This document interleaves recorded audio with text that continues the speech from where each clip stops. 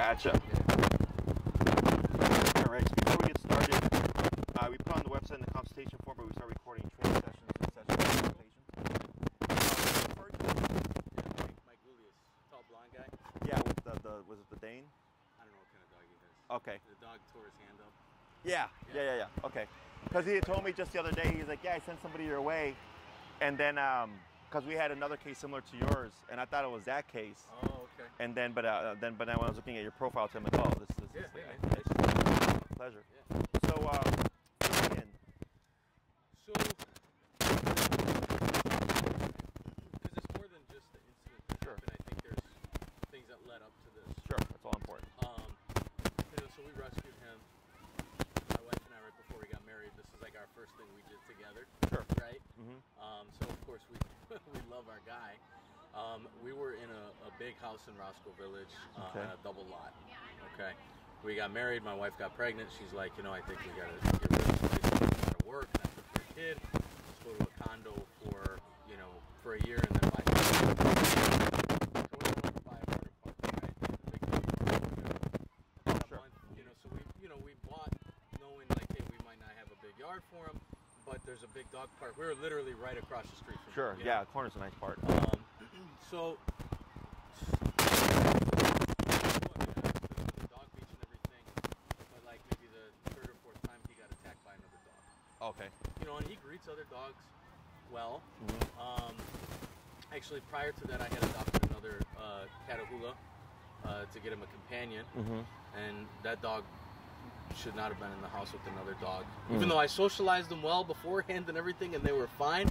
Minute I brought her home, Mm. she went just straight into kill mode. Mm. You know, and I, I mean, it took everything to, so she didn't kill him. Mm-hmm. Um, so he got beat up pretty bad twice by other dogs Okay. um, but had never really had any um, anything with uh, any humans before. Mm-hmm. Um, I did notice, like in the yard, he would bark if kids were their bikes, um, you know, younger kids. Yep, yep. Bark at adults, but then he wouldn't bark at kids that weren't on bikes. So I thought Mhm. maybe he was afraid of the bike. Mm-hmm. Um, so we move into this condo, and uh, you know, last year, man, with all those fireworks and everything, Mm-hmm. um, he basically spent he be- he's become like exceedingly paranoid Mm. at all times high strung i i mean it took me a lot of coaxing just to get him here Oh. he didn't want to come in the park Gotcha. you know he'll shut down Okay. he won't go outside on walks after usually like one o'clock Mm-hmm. at all he won't leave the house Mm. Um, and this all started with the whole firework thing Mm-hmm. right um, and it's you know and it's not just going outside he's become paranoid over anything Mm. any little noise that's not a firework or a gunshot. Some guy over here was taking his lawnmower out, you know, Mhm. landscaper.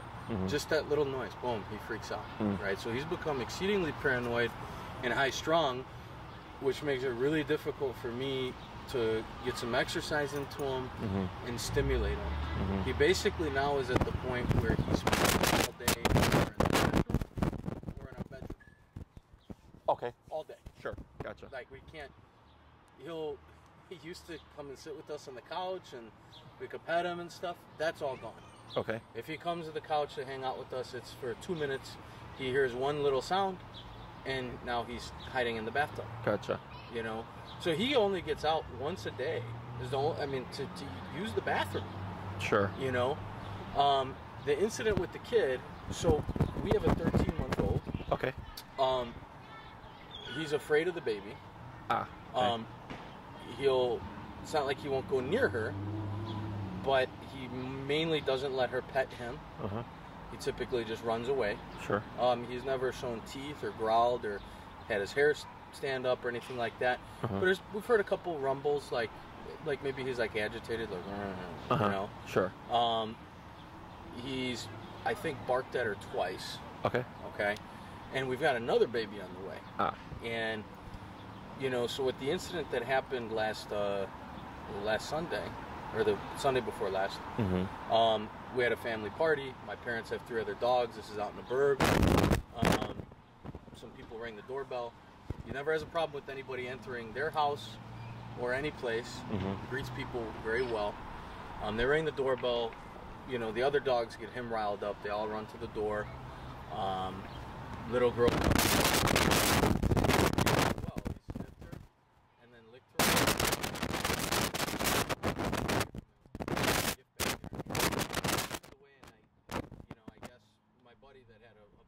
of it. Said that she kind of put her hands up like this, then he grabbed her arm. Mm. You know, so it wasn't a nip. Mhm. I mean, it was a bite. Mhm. You know, he wasn't thrashing around or anything, but you know, he didn't let go for, you know, maybe like two or three seconds, which Mm. is kind of an eternity when a Yeah. Oh yeah, for sure. bit a child. Yeah, you yeah, know yeah. what I mean? Um, damage wasn't really, thank God, the damage wasn't really bad. You know, she had a couple puncture wounds that did break skin. Mhm. Um, but he didn't like, he wasn't like growling like "Ah," when he went after her. The dad just kind of stuck his hand in his mouth. He let go, and then he just walked away like Nothing happened. like nothing happened. Mhm. You know, so he didn't go into that like, I'm gonna kill you. Mhm. You know. He also didn't growl or give any warning sign before it happened. It Mhm. was just quick. He just grabbed her Mhm. and then yanked on her, and then it was done. He walked away, blood dripping from his mouth like nothing happened. Mhm. And we were just completely, you know, um, shocked. Right? He'd never bit a person before. Mhm. Never tried to. Mhm. Never nipped. Nothing. Um, so now, you know, now my parents are huge dog people, but they've always had a solid rule: dog goes after kid, Out. out, Sure. home, right? Yeah. And we've got a 13 month old and another baby on the way Yeah. um, in October. So my wife and I, we're like, hey, we're, we don't just give up on dogs, but we, we love them. Um, we want to know what your your thoughts are. Do you think that um, you know he's he's safe to be with our kids? You know, if he needs some work, how much work is done, or your professional opinion if you think maybe a better situation would be better for him. Mhm. We also don't want is for him to be in a situation where he does something because he's it's not a good environment for him, and then all of a sudden he's getting put to sleep by the city, Sure. right? Yeah. So we also want what's best for him as well. Right, right. Um, so let me get this straight. Uh, so uh, the the little girl that was bit, how old? Like seven. Seven. When she pulled away, did they uh, did she yell at all? I don't I don't believe so. No, she just jerked back. I I think I think so. Yeah. Okay. She afraid of dogs? Yeah, I it seemed she pulled as if she was afraid of dogs. They Yeah. had- I don't think they're from uh, Venezuela. Okay. And I don't think they had had a dog up until like they had just adopted their own dog like two weeks before this happened. And it's a little puppy. Uh huh. So maybe a big dog like him, maybe she. She yeah, it was she her scared first. from. Yeah. Sure. Um, and then I had had just walked. The girl had just walked in, right? Because he had already been there for a bit. The well the it was the girl, her two parents, and then another guest. Uh huh. Plus I was there. Okay. You know. And then so they're just coming into the space, Correct. and then you know he's sniffing and greeting everybody normally, and then he had sniffed the little girl, licked her elbow, Mhm. and then she jerked, and then he he bit. Correct. Okay. Um, when people come over, uh, do you ever see any kind of tension from him? No. No growling, nothing. Nothing. Just happy to see people. Very happy. Too happy to see. People. Okay. Has you ever seen uh, a, a child enter a space before? Yeah. Actually, yes. My little cousin. How old? about this now he's probably about the same age Same But age? he's so Santo's coming up on four so Santo's probably known him since he was uh, like three and the kid's probably six or seven now Okay, gotcha. Uh, how long have you had this guy for? four years for so, since he was a pup. since he was yeah, about seven eight weeks old Okay. Was he ever around kids growing as, as a pup growing up? just that one kid my little cousin Okay, so he's essentially kind of grown up with your little cousin. yeah i mean see him you know maybe on a monthly basis Sure. um, plus where we're at in roscoe village lots of families lots of kids running around Mm-hmm. You know, saw them on the other side of the fence. But I mean, we, my wife and I don't necessarily have guests of little kids Sure. coming over. Okay, so for for this guy, uh, he's he's had your uh, the little kid right that he's kind of essentially grown up with, seeing once a month on a regular basis. But all the other kids that he's been around has usually been behind some kind of barrier. Correct. And this is, would be the next child he's met, Right. other than your own. Other than our own, and Okay. our own is very small. Correct. Uh, when And you he's started, afraid of her. When and and um, and with his behavior outside and stuff, this was all in response to fireworks last year. That it's either that or that and the change of environment. Sure. Both happened simultaneously. Where we were at over there by Horner, Mm-hmm. the fireworks started about a month after we moved in in April, Mhm. and they went from about seven o'clock at night every night of the week to about three in the morning. Mm. You know, like nobody had anything better to do because Mhm. everybody was on lock, right? Mm-hmm. Um, and they didn't stop until August. Okay. And during that night, was he like hiding somewhere? Um, he would hide in the bathtub. Um, he would occasionally go and try digging through the floor. He'd go into a corner, try digging through the floor. Um, but at some point, he would come into uh, the room with us, and then either go in his bed or come and hide by us. Sure. Yeah, but he's like paranoid all the time. Gotcha. In response. I, in response, and he's also it's he's become like high strung, like Sure. always, you know. Um, Sure. And he make you know you can, you know, when you come across a person, you can just catch a high strung vibe off him. Oh yeah. And he'll make a kind of a noise that is just really like, you know, Mhm. like you could just tell he's super tense, you know. Yeah, like cause here, like I mean, he's got some anxiety being here, and then like, uh, cause he keeps kind of he's done this a couple times with targeting his tail, and I don't see any um any bugs flying around, but the way he goes about it is just like over the top. Right. You know, like my dog does the same thing, but it, it looks like you could, like you said, the energy's a little bit different. Right. Um, when we go back to the whole child thing, um, I think what may have happened is that since he already is high strung and she had entered and he had just licked her, the quick movement, right? Because this is this is not uncommon. I've had people in the past where they're like their, their dog was chasing their kid and they're playing, right? And they're playing chase. And then all of a sudden, like the kid gets spooked because uh, maybe the dog is chasing a little bit too hard or starting to nip and play, right? Because that's what dogs do with each other. They nip and bite each other. Totally. But when the kid gets nipped, now the kid's going in panic mode because kids, the kid's thinking they're being attacked, Right. and they start to scream or whatever, and all of a sudden prey drive kicks in, Right. and the dog just bites the kid. Right. And the owner's like, it went from complete fun chase to all of a sudden, I'm gonna get you. I said, yeah, because you gotta recognize your dog is an animal, Right. right? And it's literally like a switch. Yes. You know, like exact what you're saying right there is like a, a literal switch, right? Everything was fine, licking, and all of a sudden she jerks, and then boom, mm-hmm. right? So in that moment, the only thing that really kind of makes sense. That's why like I have to ask all these questions. 'cause I'm trying to figure out like, all right, whoa, what's this guy like? What's the history? And you're like, he's never given us anything other than like what he's what he's brought up with your child, mm-hmm. right? So and that kind of plays a factor as well. So um, it can be one high strung people were coming in, uh, licked the little girl, and she moved, and it just triggered that response. And like you said, there was no shaking, there was no growling. Uh, it was just bite and hold for two to three seconds, and then your friend put the parent put the mouth, and he just like walked away. Like nothing happened. Yeah, right. So it like to me, that's kind of like the dog did it without thinking. Like an impulse. exactly. Right. So there's that. Uh, there's also I'm taking in the feedback from your 13 month old that there's already some uh, there is some kind of um, apprehension of children. So when he was approaching and just getting a feel for the situation, and she moved too He quickly, was already on guard with her. exactly, and maybe we didn't see something Right. because it can be super subtle. It can be a shift of the eye, but people don't see it because we're looking for like the hackles, the tail, right? Mm-hmm. Like we're looking for the more obvious stuff, but there's some very tiny little details that can also be a precursor. And then when she moved, it led to the next thing, mm-hmm. right? So, or it could be a mixture of both, all right? So, when it comes to what we can do with this guy and your options and all that stuff, is when it comes to dogs and children, I always tell people don't take it personally. Okay, it's not uncommon.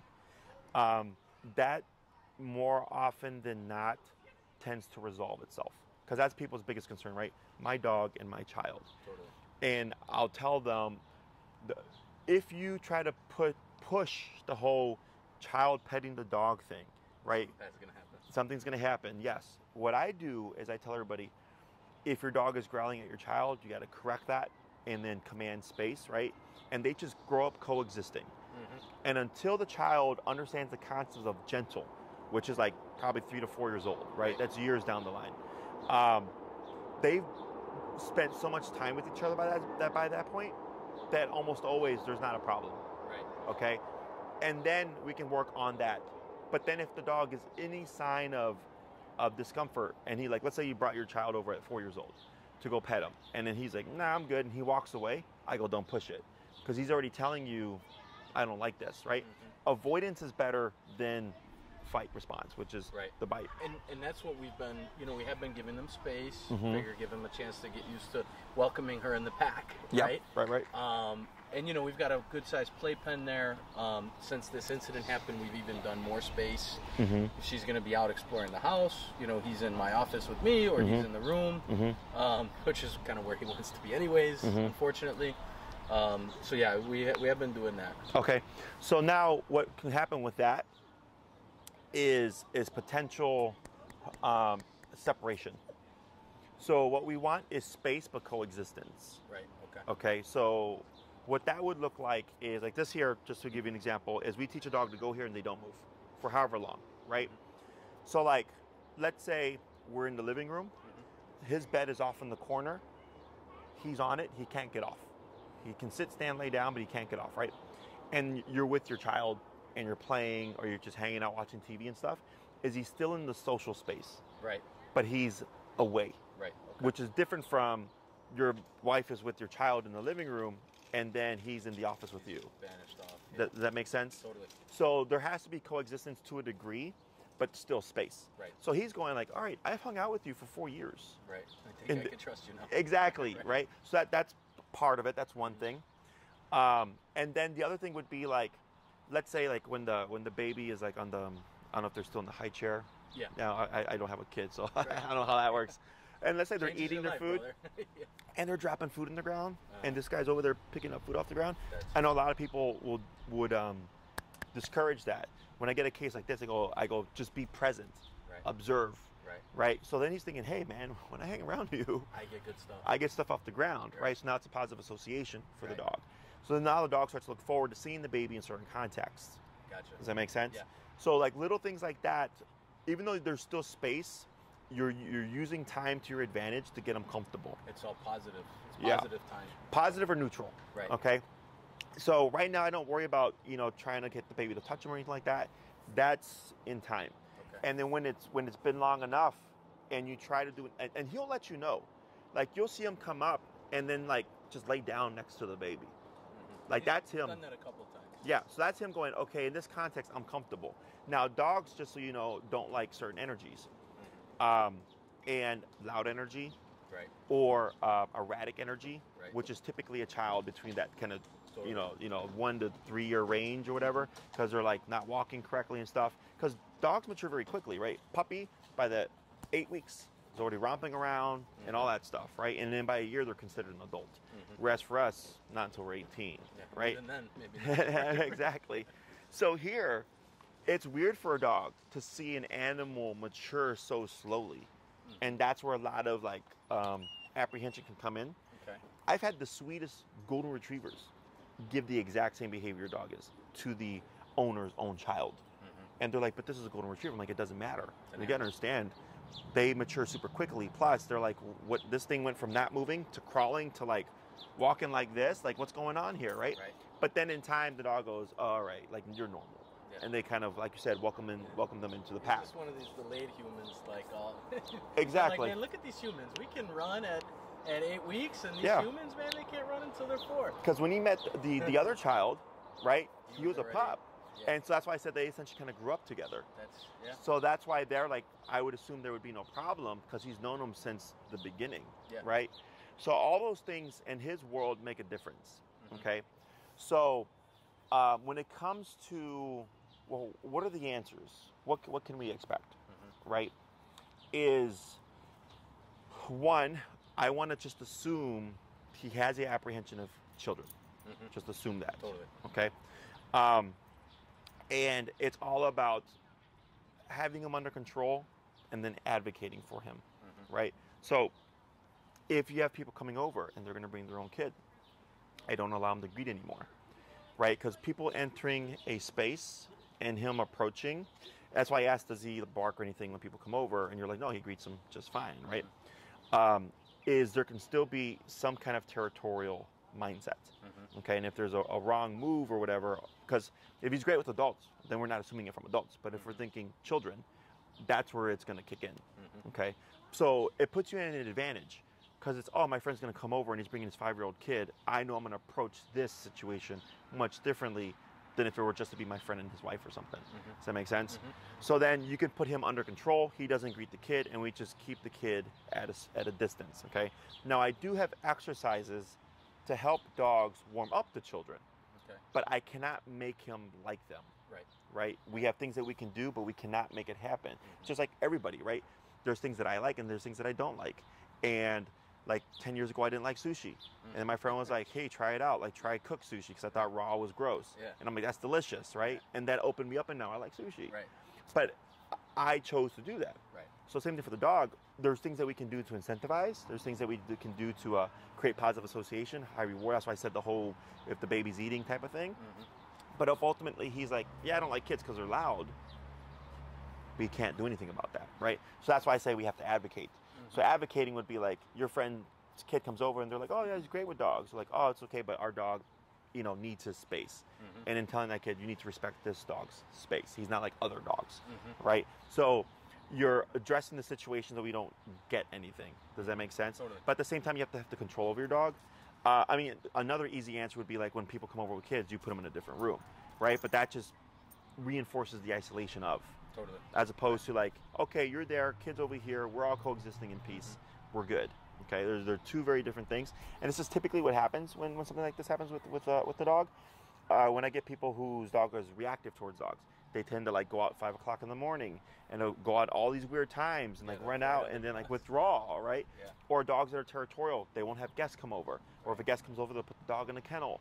Now the dog's barking for three hours, right? They isolate the dog, and I understand why. Because yes, it's safer to prevent something from happening, Mhm. but it isolates and makes the problem even worse Mhm. for the dog. You know, so then it's a balance of having control. Uh, yes, we can push things, but at the same time, we also have to recognize like if it's not going to happen, it's not going to happen, and then we have to advocate for the dog as well. Mhm. Okay, so it's a balance of everything. Totally. Um, so, because if it was a real problem, um, with him, I feel like it, he would be targeting. You know, like I get dogs that can't see kids, and they'll just start like lunging and barking. Mm. You know, because they don't like the energy. Mhm. So, like, there, there's a very clear discontent. Right. Does that make sense? Yeah. So I think yours was either situational Mhm. or situational plus there's already a little bit of a precursor from at home Right. where he's just kind of disgruntled that there's this little being and he's not he's still unsure about it. Right. Okay. Yeah. Plus everything you're telling me. Like he's just always just also high strung. Paranoia. Exactly. So the way I would approach this um, is have you done any training yourself with this guy? I have. Um, you know, so we first, my wife wanted to do the, the whole PetSmart thing. I Oh, sure. Okay, I saw that. You know, not, you know, I not great training, right? Mhm. But then I worked with him myself, and we had a, a regression um, with him last year Mm. with his training. With the behavior and stuff. With the behavior, you know, he just, you know, stopped listening, became more hard-headed. Mm-hmm. Um, you know, it, it was in the regression. I, in my mind, I think it first lined up with the move, Mm-hmm. And then with the baby coming in, it just more so. Mm-hmm. And you know, we haven't been. We've been very mindful of him to let him to not feel neglected. We didn't want him to start to feel jealous of the baby or anything like that. Mm-hmm. You know, so we've you know continued to try and spend as much time with him as we can. Mm-hmm. But he's made that exceedingly difficult. Sure. You know, by because he's just retreating. Sure. You know, at almost all at all times. Sure. You know. So, and uh, so, uh, I guess if he's in like, because you said that he'll either be in the bathroom or like tucked away, right? But when guests come over, that'll draw him out. Totally. Yeah, he loves guests And will he stay out during that time? the whole time. Interesting. But then once they leave, he's like, all right, I'm going to my room. Right now, if there was fireworks or something, He would. he would he would probably Makes go sense. and hide. Okay. But otherwise, the guests, yeah, he's you know he he greets them very well. He allows them to pet him, and you know he has no apprehension of them. Mm-hmm. No barking. If anything, he gets a little too excited. Now he started jumping again, where Mhm. we had that, you know, had that taken care of. He didn't jump, Mm-hmm. uh, you know, out of excitement. Um, now over the past year, after the move and the baby, now he's jumping again. Sure. Gotcha. Okay. So, um, in my opinion, uh, like getting him to walk out here and stuff, easy. Um, getting him to open up from his withdrawal, I, I don't think it's gonna be too difficult. Uh, definitely something that we can we can I, I feel we can get done. Mhm. Um, the hardest thing would just be the children, Right. um, in the sense of uh, we can't make that happen. Mhm. Uh, and it's really a mix of educating you um, you know, making you proactive so that you can just go like, all right, we're not gonna, like you said, set him up to fail in this situation because the consequence is high for him if that happens, right? Um, and then uh, with your own children, it's just being mindful, uh, understanding it's going to take time. You know, like uh, you're 13 months into what I'm, I said three to four years, Mhm. right? And at three to four years, uh, or let's say even just four years, and he's just like, like I don't like kids. Like it's just you have a dog that doesn't like kids, right? But then it's raising your children to respect his space, Mhm. right? And teaching them like, hey, like you know, Which is uh, a good lesson because they should respect all, even. you Yes, know, and that's an important thing too, because the problem is most people teach their kids like dogs are like they're kind of free playthings, Right. and I've had a number of calls from people that, like my dog got my uh, my kid got bit. I'm like, why? They're like, well, they're doing this to us. I'm like, well, yeah. I'm like, because you let your kid do this to some random dog, because they do it to your dog, Right. and that's why your dog, your kid got bit, right? I'm like, that's technically not wrong.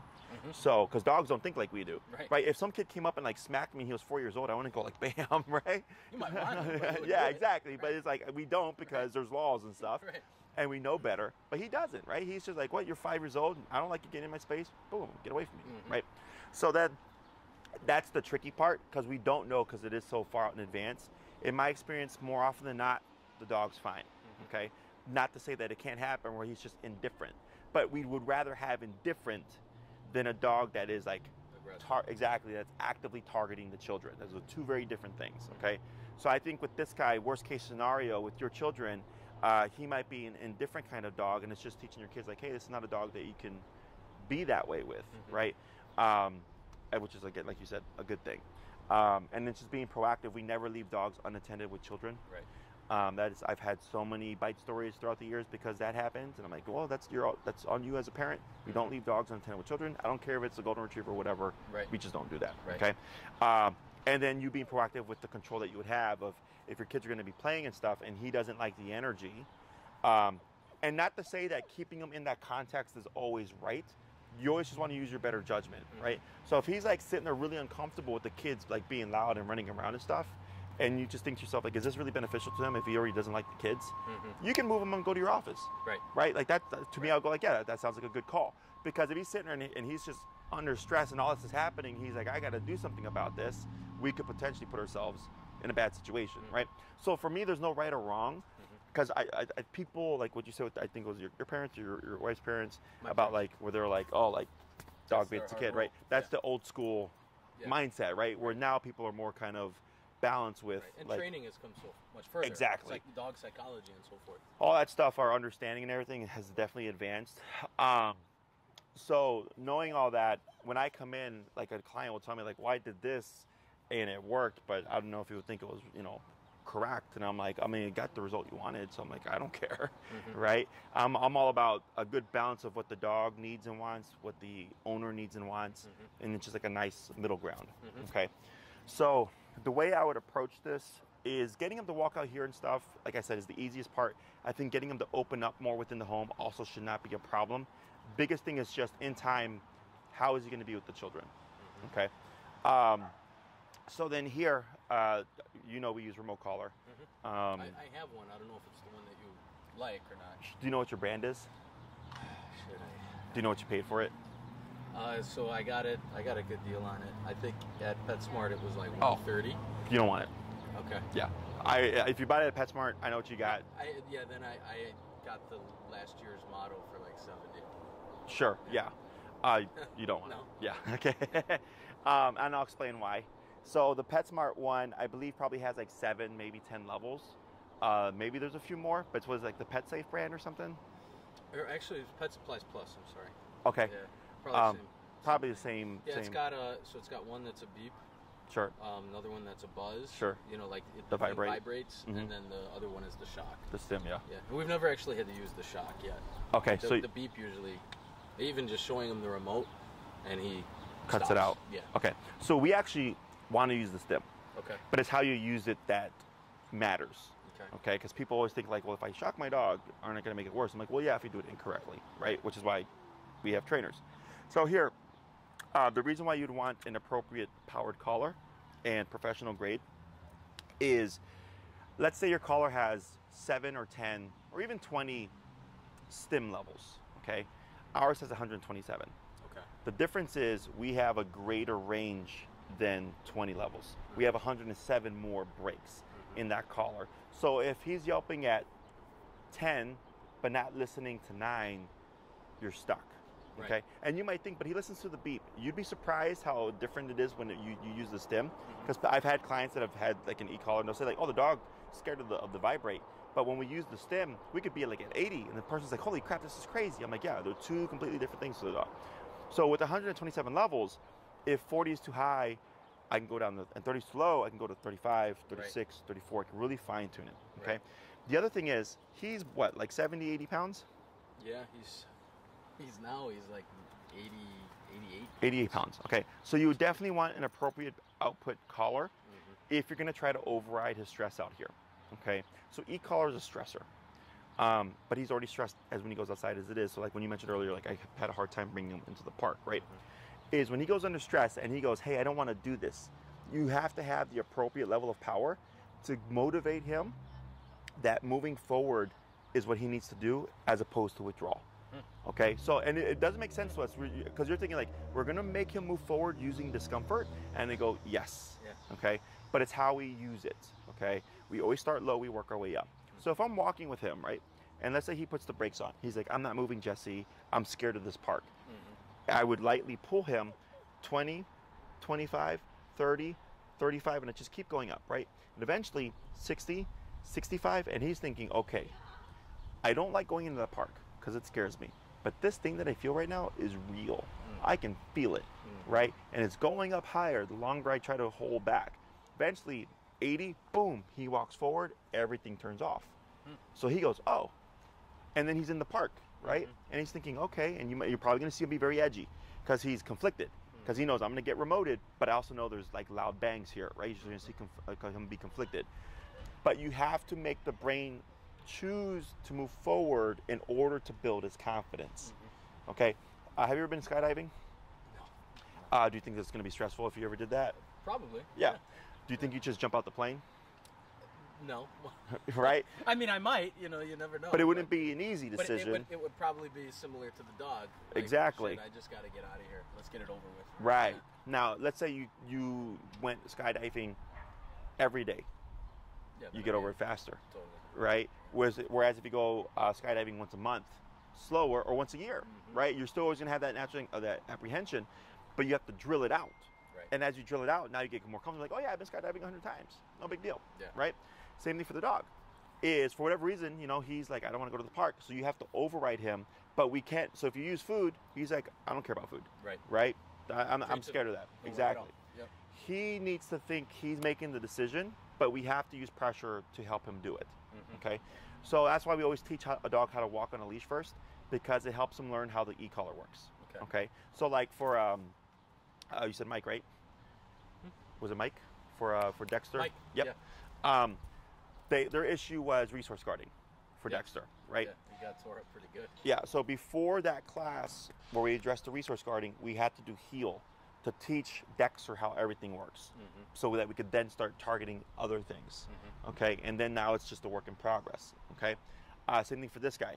First, we have to just teach him how to walk, Mhm. right? Get that brain moving forward, and then from there, now he knows how it turns on and how it turns off.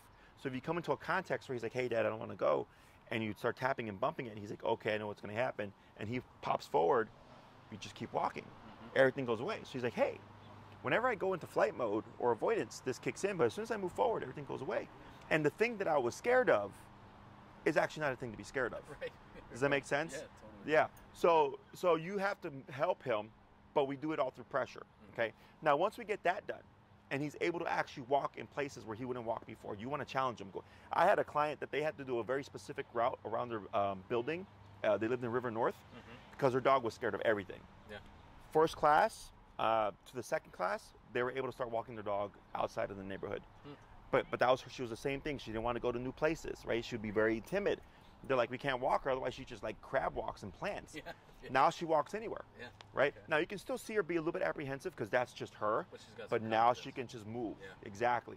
So my theory and thought process is, is, is once we get him over the outside stuff, right? And he's like, oh, I can actually walk and not be scared. is it should start opening them up within the home. Mm-hmm. Okay. Now, if we see it's not helping them open up within the home, it's not a problem. Because now what we're going to do is we're going to start using pressure to make hiding in the bathroom or hiding in the closet um, uh, uh, not options anymore. Mm-hmm. So now he's like, okay, when I go in the bathroom, pressure turns on, but when I get out the bathroom, pressure goes away. Mm-hmm. So he's thinking, okay, all right, what if I go to my closet? Pressure turns on. Crap, I can't hide in the closet either, Right. right? And it sounds mean, but that's how we have to remove those options. Mm-hmm. Is he has to have some kind of negative until he chooses to pull out and go, okay, I'm not going to do that. What's my other option? And you'll probably, you might see him. He'll be in the living room, panting like crazy, eyes very big, because he's going, I want to be in the bathroom, Mm-hmm. but I can't be in the bathroom. And he's just just got to go through it. Mm-hmm. Okay. And then once he gets over it, he's like, oh crap, like I'm so out here and nothing's right. happening. Do, do you think that the lack of confidence and his so lack of confidence leading to fear, and then both lack of confidence and fear have something to do with his apprehension towards kids? No, uh, because that's, I think that's more so because I see it all the time. Mm-hmm. I got dogs, love everybody, everything, and then you know, owner comes home with a baby and the dog's growling the first day. You know, and they're like, "Where the hell did this come from?" Right. I'm like, "Yeah, because it's a completely unknown thing to the dog. They've never been around it or whatever, right?" So it's not uncommon for that to happen, and the dog be completely stable. Mm-hmm. You know, uh, is it a possibility? Sure, Right. You know. but more often than not, it's usually a completely separate thing. Gotcha. Yeah, yeah. okay. Uh, other questions? No, I mean everything you're saying makes uh makes a whole lot of sense. So, um, in, in your because the way I approach things is I is I cover what if depending on how you approach this, whether you do it yourself or you do like a board and train type option, is um, if you do it if it's you and me, I just teach you what you're wanting and needing. Okay, uh, and I'll give you an idea of like okay, this is what I expect, what we will need to do, and then you decide okay, I want that and just that, or I want that and I want more. Okay, so heel has to happen. That's two classes. Okay, that's going to help him with walking outside. That's not the problem. Uh, him being able to not hide in the home, I don't think it's going to be a problem either. Okay, so heel would be the basis for that stuff. That's two classes. A third class would be based on how is he progressing. If you're like, hey Jesse, I can walk him around the park. I can take him to Horner Park now. I can take him to a place where he would never go before, and you can see where he's kind of anxious, but he's walking, he's doing it. I go, great, we're making progress. How's his behavior inside the house? He's still hiding. Okay, that would be class three. Gotcha. Okay, because now we got to start pulling him out of that.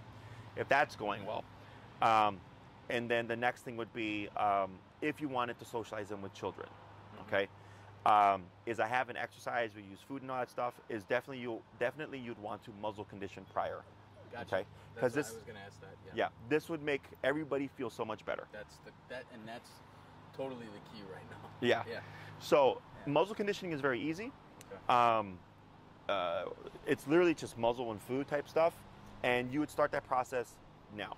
Okay. Okay. Don't even worry till you book and stuff like that. Start that process now. Okay. Okay. I get so many people where I tell them muzzle condition your dog and tell them the same thing. Start it now. They sign up for training. Three months later or whatever. Now we need the muzzle. Oh crap, we haven't done it. No, I'll go get one. You tell me what to get. We'll get it now. So Maria will send you all the information. You can get them on Amazon. Mhm. The brand that we use is Baskerville. Okay. So like basket, but with an R, Baskerville. You want to make sure you get that brand. There are knockoff brands on Amazon. You don't want those. Okay, so Baskerville. He's probably a size four to five. Um, clients will sometimes just buy, you know, the, the like a size up and down of what they need because they show you how to measure. Okay. But sometimes the measurements can be a little off. So then if you buy, you know, three, four, and five, and you need five, you would just return three and four. Okay. Okay. But you think he which size? I think he's probably a four. Yeah. Um, but uh, it'll show you. You you measure the bridge of the nose, you measure the circumference, and you go by that. But sometimes it's still a little off. Yeah. Okay. Yeah, because the shapes are unique. Yeah, Yes, gotcha. and then you can just ask Maria to send you the link to our muzzle videos. Okay. So I have a page on my website called Training Resources, Okay. and it's got all the e-collars that we use. It got it's got the prong collars we use and all that stuff. And you'll see a section on muzzles, and it'll say like I recommend Baskerville, and then it'll have three different videos on muzzle conditioning for you to watch, so you can start that process. Okay. Okay. So you literally use his food, uh, and his, you, you use his muzzle as his bowl, and his food like that, and he's eating out the muzzle. That's how we create the the, the positive association. Okay. Okay. And that's it's super simple, You can just start that stuff now. Is it okay? like a cage muzzle or like a yeah, it's a basket muzzle. Okay, so it's, gotcha. it's it's so he can breathe, he can he can pant, he Yeah. can lick uh, or, or drink water, he can he can uh, take food, all yeah. that stuff. Okay. So we would need that, and what I would do is, and we would also need kids, okay, or a kid. And then, um, so the muzzle helps you feel more at, at ease of like, okay, if something happens, I don't have to worry about it. Uh, the muzzle also helps the parents of whoever's going to help us, um, so they know that their kid's safe, right? Maybe it would be the kid that he bit. I don't mean, know, we maybe- can. Yeah. I mean, um, and it's very controlled. It's very controlled. It's very structured. Okay, and then it's just all about repetition. Okay. Okay, so if you're able to do this once a month, you'll make progress potentially, but it's going to be slower. Mhm. If you did it, you know, three times a week, obviously that would be much quicker. Mhm. There's no timeline, but um, but just bear that in mind because that also that obviously slows things down, Totally. right? So uh, I would jump into that class four because I want you to have this information Uh-huh. so you can just right away start spearheading it. Yeah. Okay. Uh, if all that's going well and we got it down and you're understanding it and you're like, okay, cool, this is very easy. I know how to do this. It's just a matter of do it. Mhm. Uh, class five, we can work on stationary control, which is like I mentioned earlier, like go here and don't get off, Mhm. which is very easy to teach. Now it's just a matter of practicing it and applying it. Mhm. Um, and then class six um, could be like kind of like an overview. So I have three, six, and nine, three, six, nine, and twelve week programs. Mhm. Okay, uh, I'm putting you in a six class range because I'm just this is like the bare bones. Two on heel, everything going well with that. Uh, working on the behavior in the home if needed of him like hiding and stuff. Class four, how do we socialize this guy with children safely? Uh, class five, working on stationary control. Class six, reviewing everything that we covered, making sure that we got a good grasp on that stuff. Mhm. Okay, so that's the bare bones minimum. What do you What do you do in the twelve uh, the, the twelve class? So the nine and 12 gives us more time to either cover behavior if needed. Or teach more commands. Okay, so there's six commands sit, stay, down, come, place, heel. Okay, heel and the place command are uh, what you're needing from what I'm hearing from you. Okay, in your lifestyle so far. But if you're like, hey Jesse, I want as much control as possible, that's what 12 is for. Okay, now the variable being his behavior. So like let's say you do 12 and for whatever reason we're having a hiccup or something with behavior. Maybe it's like him walking outside. It's more difficult than we thought. Okay, I don't think so, but maybe. And we spend a number of classes on that, right? So even though we're doing 12, we spent so much time on fixing one thing, we may not cover everything within the 12, right? I don't think that's going to be the case. Uh, it's pretty straightforward. So then, if you did 12, we would cover all the commands. So you would have like what I call full control of your dog. We cover all the behavioral stuff, and then I help you progress your obedience to off leash level.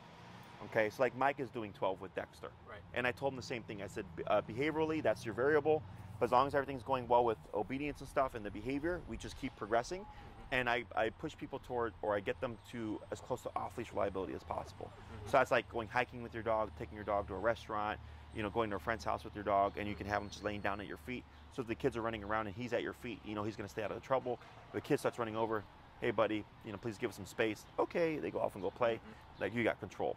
Okay, so it's your personal preference. So you're at minimum at 6 nine and twelve just gives you more options. Okay. Um, if you did nine, the next thing I'd probably target is recall, which is come when called. Especially you have a guy that gets kind of flighty and edgy. Yeah. If you were to ever be off leash, you have a means of returning him.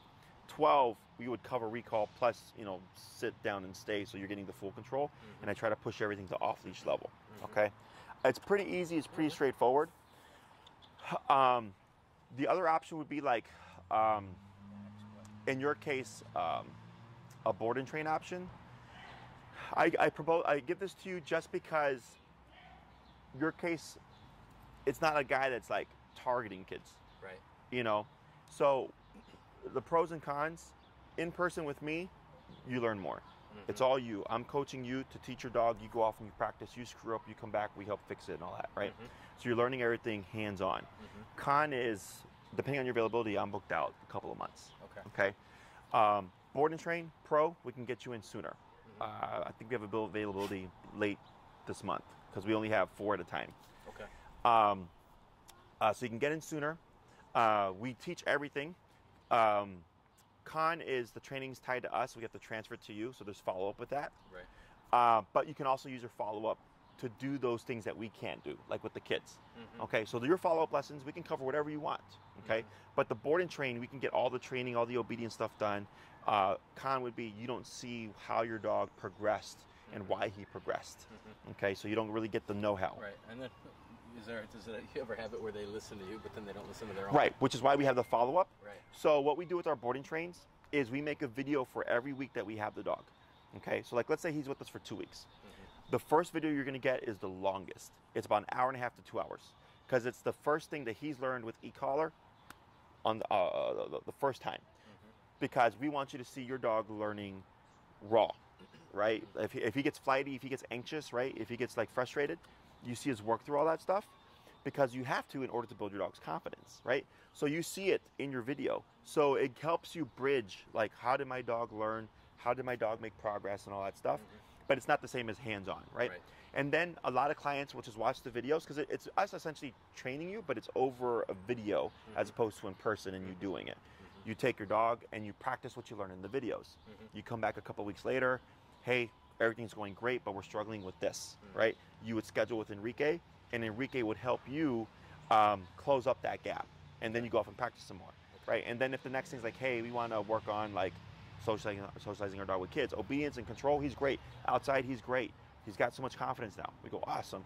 Then we can do a class on um, working with kids. Mhm. Okay, even though we didn't cover it within the board and train, it's still something we can cover because it's a follow-up. Okay. Okay.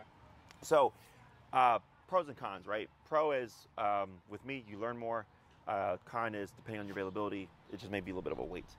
Mhm. Um, You know, if we're able to maybe start the muzzle muzzle work in Uh-huh. between now and then, mhm. I think you know that might be a, an option. You said you don't have uh, any boarding availability till the end of the month.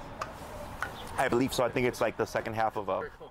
We're going to Hawaii for uh, like ten days Sure. this Saturday, so that would have lined up perfect. But okay. Um, I can also. do you ever get openings like somebody cancels or something? I can talk to Enrique because so I do all the in-person stuff, right?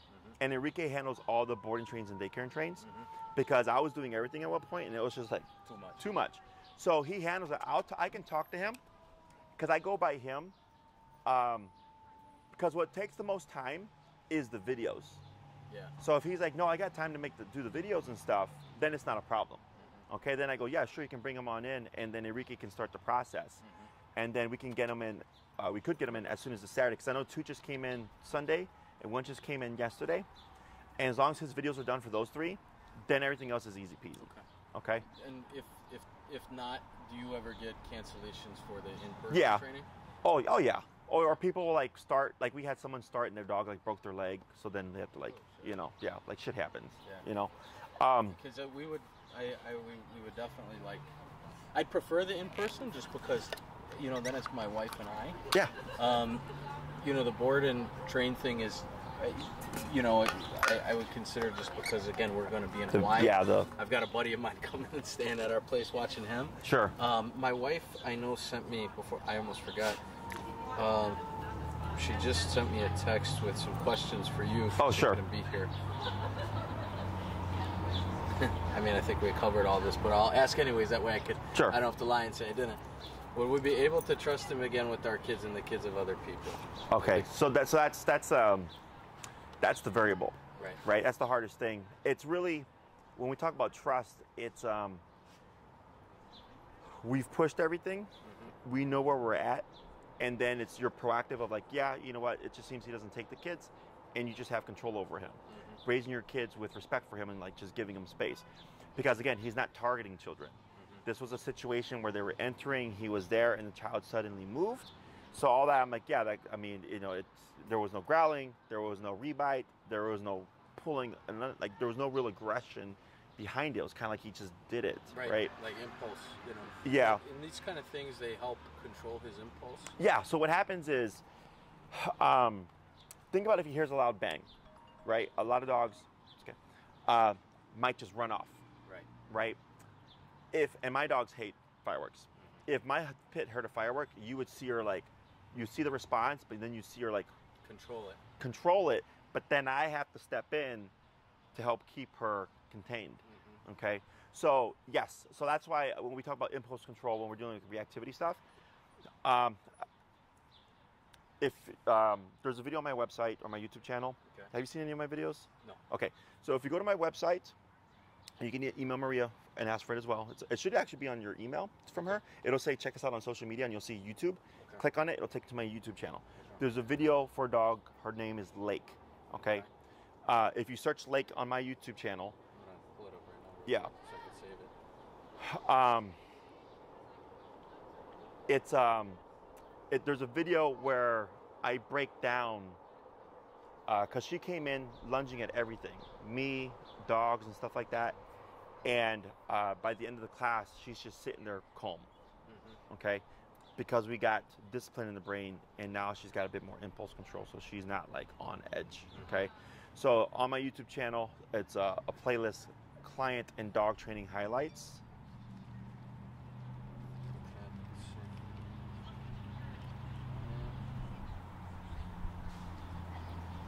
Here we go. Yeah. Okay. Now you should see Like- one. You like, yeah, yeah, and like it's got a picture of her face or whatever. Yep. Yeah, That's the nice- video. Nice. Nice. So it'll help you get an understanding. Okay. Now she's more of a like, quote unquote, an extreme case. Okay.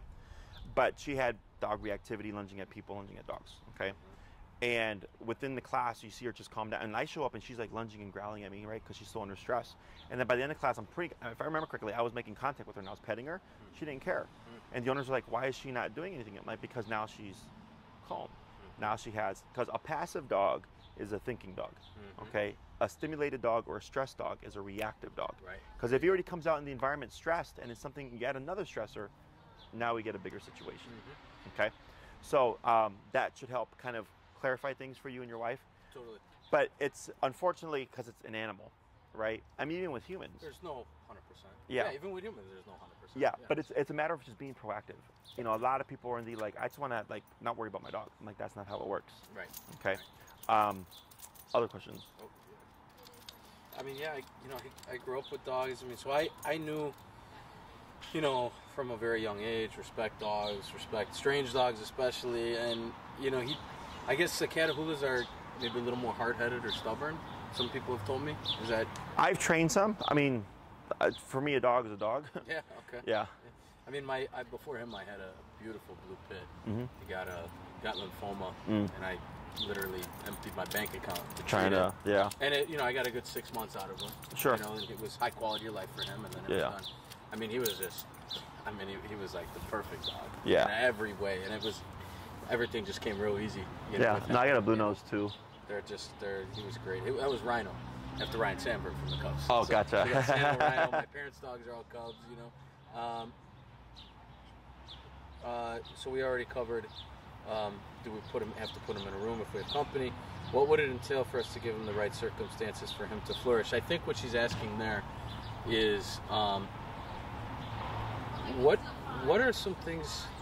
So it's been just very difficult for us again to exercise him or to even mm-hmm. play with him mm-hmm. to stimulate him mentally and physically. Mm-hmm. You know, what are some activities once we start to build confidence in him? You know, to where even at home, like for now in a condo situation, probably for the next year until we buy something that has a nice yard and whatnot. What are some things that we can do within the home that are going to allow him to feel like stimulated? So, stimulation actually works against you. So this is a very common thing. Is dogs are very simple. What he needs is discipline, mm-hmm. a consequence for things, clear structure, mm-hmm. clear expectations, mm-hmm. right? Standards, being held to them, and with that, you're going to see his lifestyle get better Okay, because now you can actually do stuff with them. right. Because right now you can't walk him, We can't do anything. but once we do the discipline, Yeah, right, you're going to be able to walk him right. right? So like Lake's video, they couldn't walk her because she was going after dogs and people and stuff, right? So like, what do we do with this dog?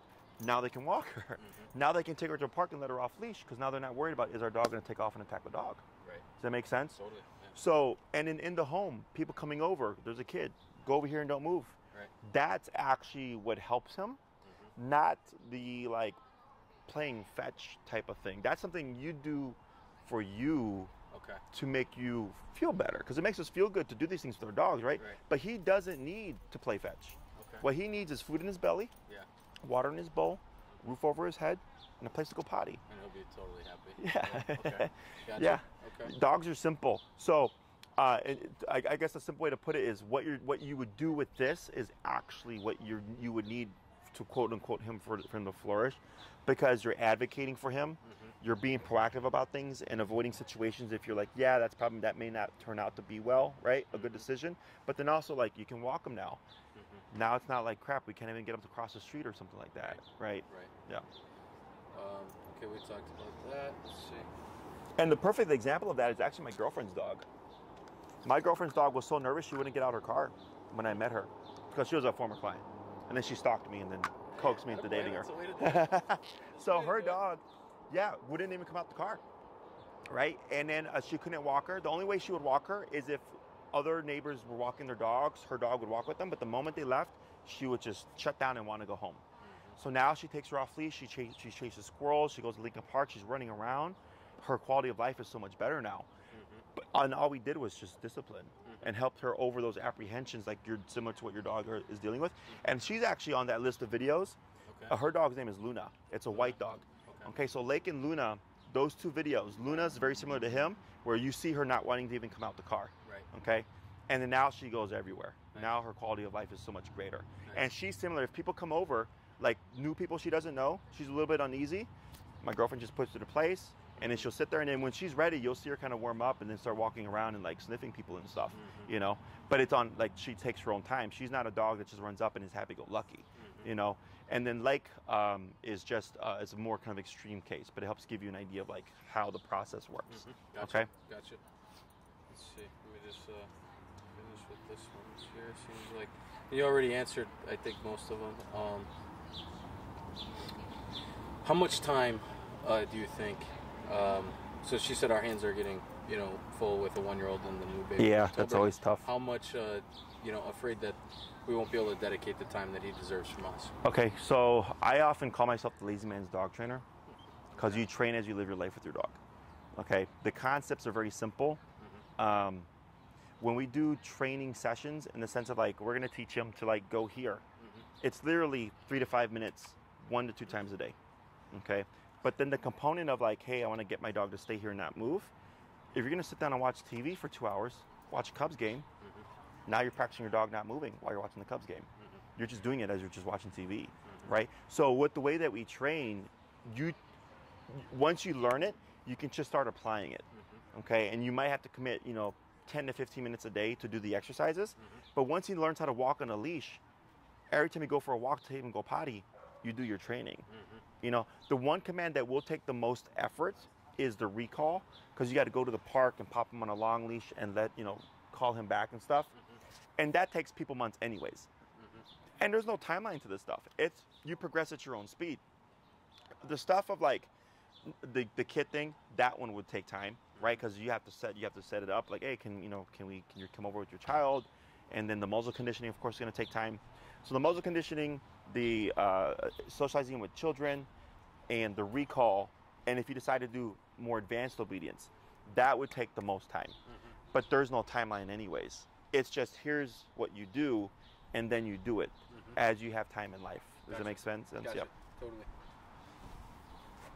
And that would be like the pro of the board and train is just we get more stuff done in a pe- short period of time, but you still have to do homework regardless. Right, right. Um, now she's, you know, so the, her last question is, we go to my parents with our three other dogs, and now going to be four. They just adopted a. Oh, okay. My sister just adopted a, a, a black uh, black shepherd, Gotcha. um, and that's where he seems to behave less. Oh, Um, sure. Is it too much? Is it too much going on with that many dogs? He's just being overstimulated. no, Right. because you can use the e-collar to correct him and calm him down. Gotcha. Yeah, and it's real easy. Okay. It's super easy. Once you understand how all this works, the, the, that's why I do remote collar. It gives people the biggest gray area. It's so easy to use and learn, and right off the bat, you get off leash control. Um, the dog doesn't know where it's coming from, so there's no conflict. You know, it's just the the, the psychology behind it because people think they're electrocuting their dogs, but I'm like, that's not how it works. Right. But yeah, no, that's actually the easiest thing. Okay. Okay. And if uh, and I'll go fill my wife in. If my wife wanted to call you to have a quick conversation, would you be open to that? Uh, it depends, just because I'm booked all the time. Right. Um, Or if she sent you an email or something. She can send an email with questions. Uh, I'll try to get this up too, so she can review this and see that you asked the that'd be- questions. that- yeah, that'd be great. that'd be great. Yeah. yeah, yeah, yeah. Just knowing my wife, she'll, you know, you know, she'll want, uh, you know, probably to, oh, you know, I mean, and she works you know, Sure. during the day. I work at home, Sure. so I just uh, seeing the video, I think would be helpful for her. Yeah, yeah. I'll try to get this up as soon as possible. Okay. Um, we because I do the editing myself. So like I, I'm here with you, then I do my training clients, and I got to run my business stuff, and then I got to do the video Oh, bro, editing. I- so that's why I'm. dude, I'm- I mean, I was lucky to be able to get out here today. Oh, know? sure. Yeah, yeah. So- what do you What do you do? I'm a mortgage banker, Oh, gotcha. just like Mike. Sure. I'm sure you talked to Mike. Oh. Uh, Dexter, Mike. yeah, yeah. Um, yeah, so we work at the Federal Savings Bank. I gotcha. So I mean, our lives. I mean, it's Monday through Sunday. oh shit. There's yeah. no like, You're like oh, me. I'm done working. I mean, I get calls. I get a, client in Hawaii. You For know, sure. Call me at 11 at night. You know. Yeah, yeah, It's yeah. just the nature of the business. Yeah, I- for I sure. feel So you get it. No, for sure. Yeah.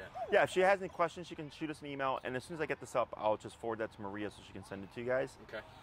And then, um, yeah, you know, so in terms of like time and stuff, like you can take your time like, to do muzzle conditioning, you can do I'm in-person gonna. stuff. We're gonna order the muzzle tonight hmm for sure.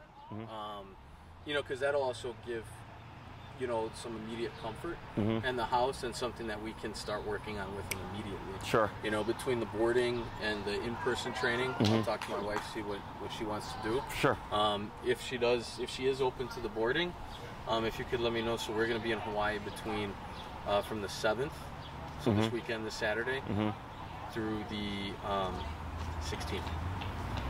Gotcha. Okay. So- sure. And Yeah. that would be probably ideal on our end, anyways. Uh-huh. So Okay. I'll talk to Enrique. He comes in today at two, okay, and then um, I'll, I'll let him know, see what he thinks, and as long as he says yeah, I can get it done, then uh, it's not a problem. Saturday would work. And then at minimum, for a case like this, what I would do is two weeks. Uh, at minimum, the longer he's with us, the more advanced we can take his training. Mhm. Okay, so then, so that- so if you're gone for ten days, it's just four more days Mhm. longer, and then he Yeah. can be done. Um, and then you get follow up with that in person stuff as well. You know, so it'd be with Enrique, and if I need to step in to do a class, I don't mind doing that for the, the kid stuff for you guys. Um, I can set I can set time aside for you know that class, not a problem. Um, and then you can always do a mixture of like, okay, you've used up your follow ups, and if you're like, hey, you know, we'd like to like do another session with Enrique, you can do a one off with him. Like that's not a problem either. okay, Okay, so there's Cool. plenty of options for you. awesome. No, I, I think it. I mean, I, everything you're saying makes makes a whole lot of sense, and you know, like we just don't want we don't want to give up on a dog. Sure. You know, Yeah. I've always had that philosophy. I mean, I've known people who their dog tears up their their couch, and they're like, "Oh, he's gone." Yeah. Like, come on, guys. I used to volunteer at a humane society in Texas, mm-hmm. and people would return their dogs for the stupidest, stupidest things, It's- like pulls too much on the leash, or like, oh, couldn't get potty Those trained. people should never be able to allow to adopt another dog again. There should be No, like I a agree. or something. I think there should be stricter rules around owner dog ownership for sure, um, because there's a lot of people that shouldn't have a dog that do have a dog. Okay. You know, not even abuse wise, just Right, like just- they, like people. I've heard of people their dogs being attacked at a dog park, and the person just take their dog and left. You know, like not even like is your dog okay? Like Right. and then just disappeared, ghosted. Yeah. And then they're over here with this like five thousand dollar vet bill Yeah. because their dog got torn up. You know, I'm just like it's crazy. Yep. So, Yep. but you're, you're responsible. You're doing your thing. You're, uh, you're from Texas? I'm from Florida. You're from Florida, okay. Yeah, I'm from Florida. I'm from Jacksonville.